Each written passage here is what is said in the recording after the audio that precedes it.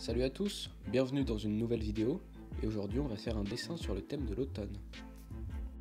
Alors qu'est-ce que c'est que ce dessin? Bah c'est tout simplement un mec qui marche dans une, euh, dans une forêt, avec des feuilles qui tombent, euh, des arbres d'automne, et c'est stylé, enfin je trouve. Sinon j'ai tenté un petit truc avec la coupe de cheveux du personnage central, c'est des cheveux euh, atypiques disons, vous me direz ce que vous en pensez. Et c'est à peu près tout pour ce dessin. Il n'y a pas de signification particulière, c'est juste un dessin d'automne. Parce que j'aime bien l'automne. C'est cool l'automne, non? Bref, si vous appréciez la vidéo, vous pouvez laisser un petit like, vous abonner, aller voir mon Instagram et voilà. Salut